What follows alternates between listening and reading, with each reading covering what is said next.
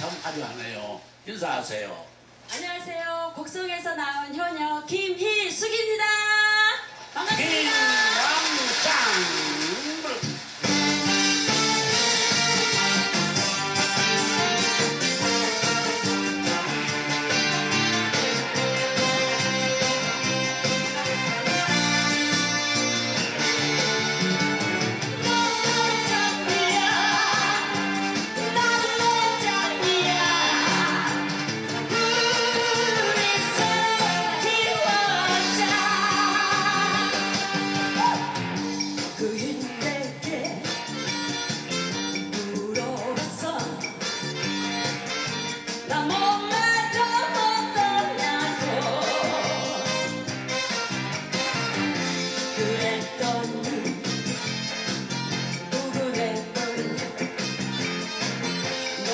hope, hope.